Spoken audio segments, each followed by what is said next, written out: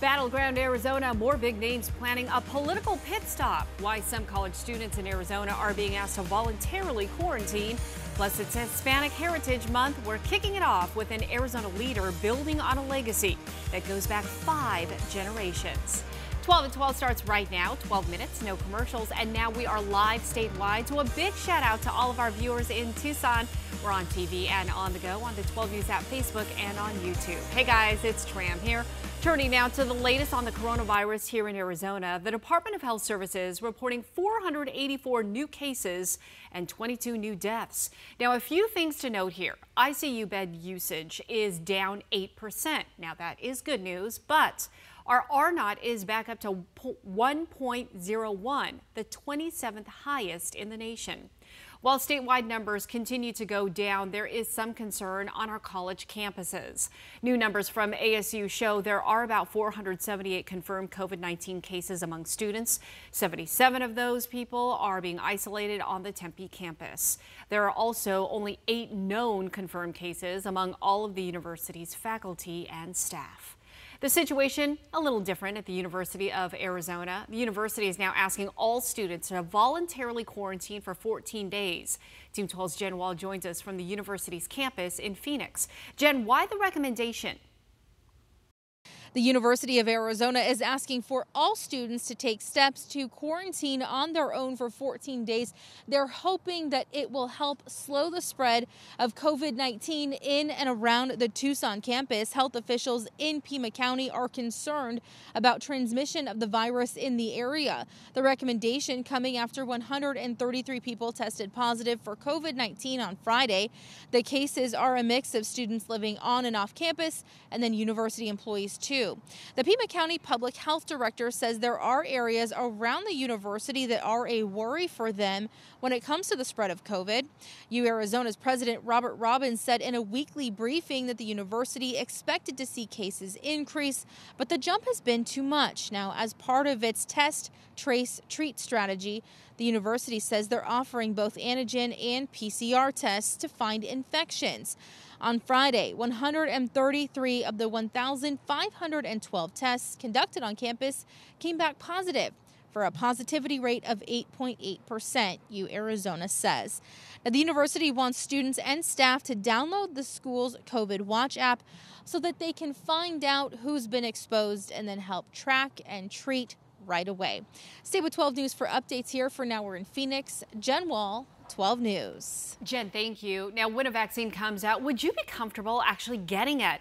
Well, a new NBC survey shows right now only about 39% of us would be. President Trump hopes to have the vaccine ready before Election Day. Hey, don't forget, you can always find the latest details about the coronavirus and how it's affecting Arizona on our 12 News app. Meanwhile, at least 35 people have been killed and dozens are still missing in wildfires burning across California, Oregon, and Washington state. Entire towns have been wiped out, thousands of homes lost, and tens of thousands forced to evacuate. Evacuations have been lifted after a wildfire flamed back up this morning in northern Arizona. The fire in Doney Park first sparked Monday night. 10 homes were evacuated when it started spreading again this morning. Some structures were damaged. The fire is being investigated. Now, Crystal, there's just so much going on. Give us our forecast 411.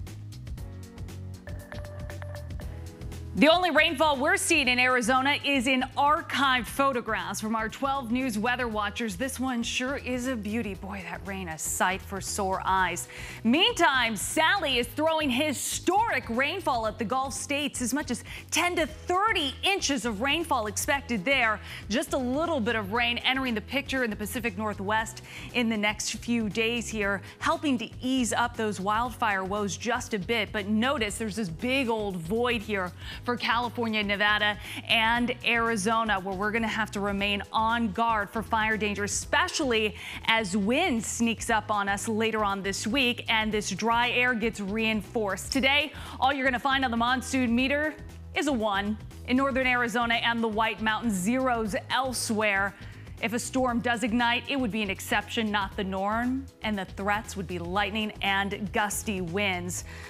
Uh, and we are winding down on monsoon 2020. We officially call it quits in just a couple of weeks. And if we don't add to any of these rainfall totals, we're going to end up with the driest monsoon on record for Show Low, Prescott, Flagstaff, second place in Tucson, 10th driest monsoon on record in Phoenix, third for Kingman, and it would be the driest monsoon for Yuma. Dry weather continues to be the theme as an upward trend on the thermometer pushes us past those average temperatures and lands us near record territory Wednesday and Thursday.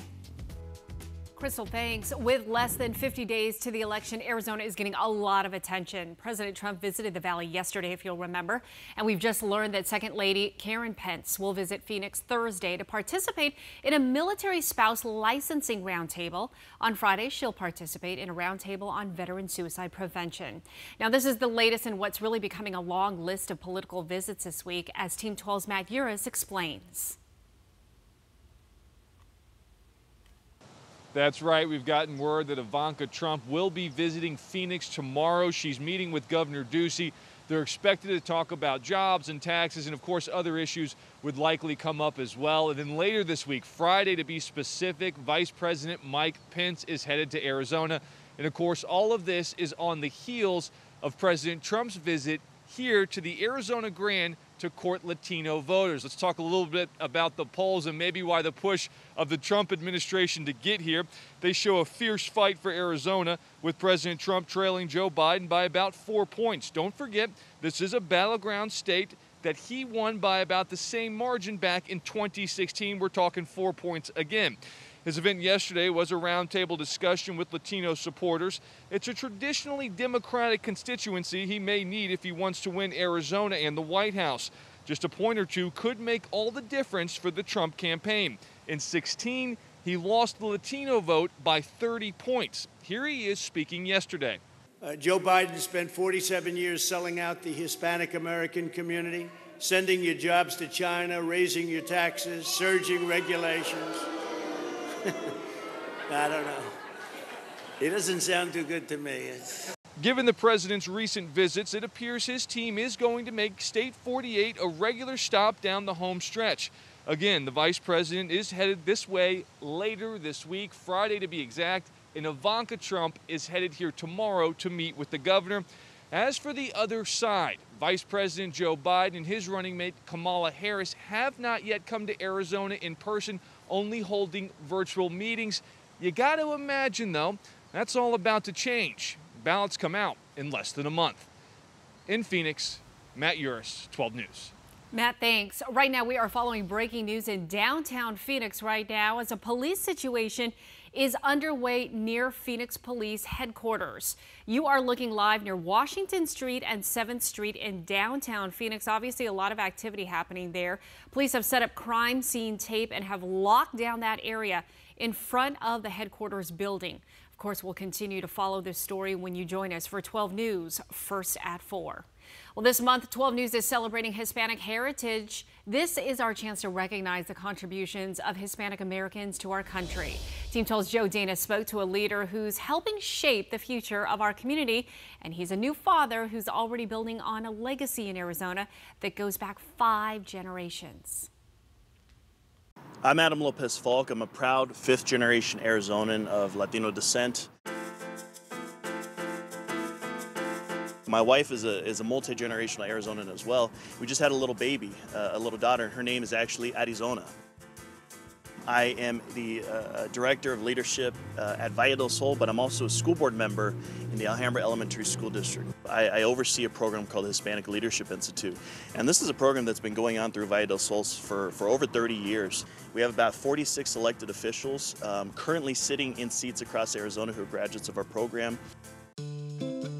I believe that Arizona is enriched by, by Latino leadership. Um, you know, this, this state has a, a, deep, deep history of, of strong Latino leaders. We look back in our history, Raul Castro, uh, people like Ronnie Lopez, Ed Pastor. There's all these folks who have done these amazing things for our state. And, and Latinos and, and are not just from Mexico. Latinos are from, from uh, dozens of countries. We bring such a rich culture, we bring a rich language, we bring a rich uh, uh, culinary palate. all these things that, that people love about our culture. I, I, think the biggest challenge for our Latino students in, in school is the fact that, that we have a lot of inequality when it comes to school facilities, opportunities for our students. Our Latino kids are, are going to be the ones that are going to be astronauts, they're going to be doctors, they're going to be uh, uh, the reporters, they're going to be leading the state.